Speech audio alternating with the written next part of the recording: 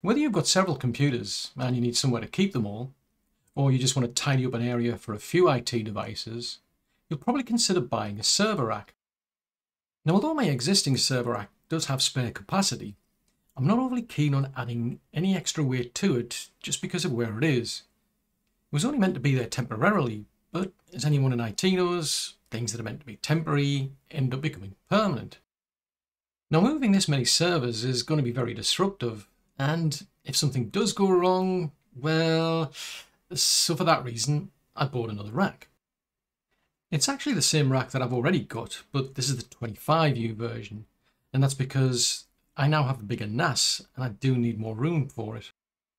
Now I could have saved myself some money and bought a used server rack from eBay for instance, but the reason that I bought another StarTech rack is not only is the price reasonable, but you can adjust the depth from 22 to 40 inches. This gives you a lot of flexibility, not just for the servers that you want to put in the rack, but also for shelving. So how easy is this rack to assemble? Well, if that's something that you're interested in finding out, then stick around and watch this video, because that's what we'll be going over. Now there isn't actually that much in this box, but it is all well packaged together.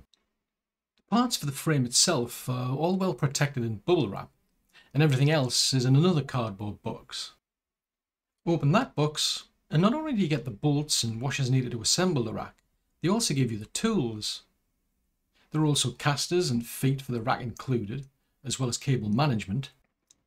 And while most of the parts are intuitive to understand, the pillars also have an L or an R on them to make identification easier. The main appeal about this rack is that you can adjust the depth, and that's all detailed in the installation manual. There are four side beams to assemble, and you set the rack depth by aligning their inner slots using the index numbering shown in this guide.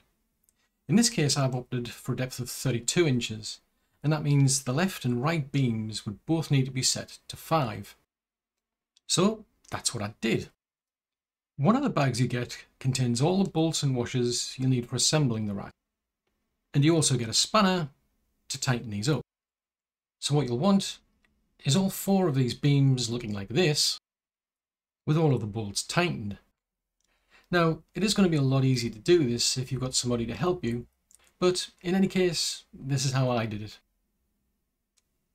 You might want to put some protective covering down on the floor if things could get scratched, but in any case, select a left pillar and place it down to your left. The numbering should face left and ascend from the bottom upward. Now place a side beam with the numbering upright but facing the ground at the top of the pillar. Bolt in the lowest hole of the pillar to this top beam. But don't tighten this up too much because we want to leave a gap. Select the top section with the StarTech logo nearest to you and facing left. And you can pick either of the two parts, they are identical. And slide this in between the top hole and the top beam. Now bolt these three parts together, tighten both bolts, and we now have a front top left corner assembled. If it helps, one thing I found useful was to lift a corner in one hand while starting bolts in with the other, as things got much better aligned if they're in my hand than if they were left lying on the floor.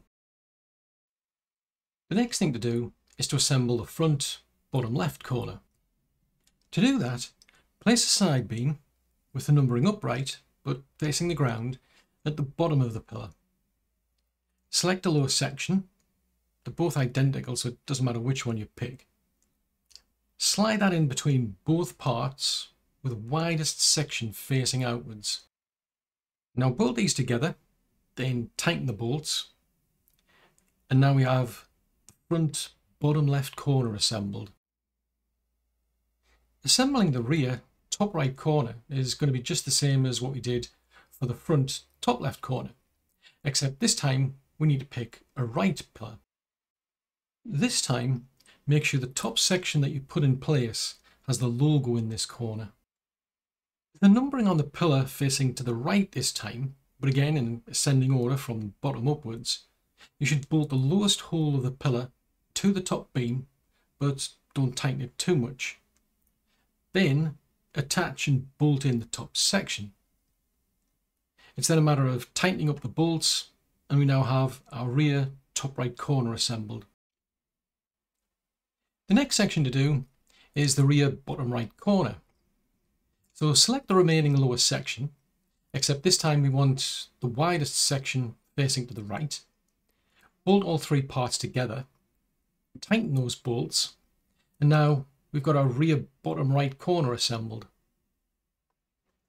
Select the right pillar, and with the numbering facing to the left and ascending upwards, rest this on the top left section of the rack and then place the other end on the bottom section.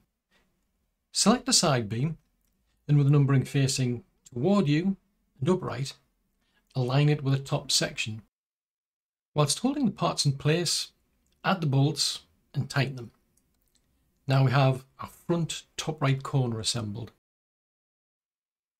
The next section that we'll be working on is the front bottom right. Select the remaining side beam and with the numbering facing upward and toward you, align it with the lower corner on your left. Whilst holding the parts in place, add the bolts and tighten them. Now we have our front bottom right corner assembled. Now select the remaining left pillar and with the numbering facing to the right and ascending upwards, rest this on the top right section then rest the other end of the pillar on the bottom section. Lift the side beam into place and whilst holding everything together, add the bolts and then tighten them. Now we have our rear top left corner assembled. And now all that needs to be done for the final corner is to align the parts, add in the bolts and tighten them. Now the rack is supplied with casters and levelling feet, but this is optional. And because I don't have a need to actually get underneath the actual rack to be able to fit cabling, for instance, I didn't actually do this. However, these are actually supplied with the rack, and the manual does show you what you need to do. Now the last thing to do is to make sure that all of those bolts have been tightened, and then you can lift the rack up and move it into place. And now you have a rack that you can populate with computers as well as other IT equipment. Now I've worked on a lot of server racks over the decades using cage nuts, and I don't think there was ever a time when I didn't actually get my hands cut. Since then, I've discovered rack studs and I've been using these instead. You can get them in different sizes, but these purple ones are the type to use in a rack like this. Now, in this case, I've used them for a shelf. But I also use them in my other rack for 1U and 2U servers, so I do recommend them. Now if you find this video to be useful, then do consider subscribing to the channel, as that would really mean a lot to me. But it's also a good indicator to let me know how videos like this are helpful to people such as yourself that are watching. In which case, thank you. On the other hand, if you're not ready for that level of commitment, then I'd really appreciate it if you could press the like button, because that way that'll help to get the video out to other people that might find it useful as well.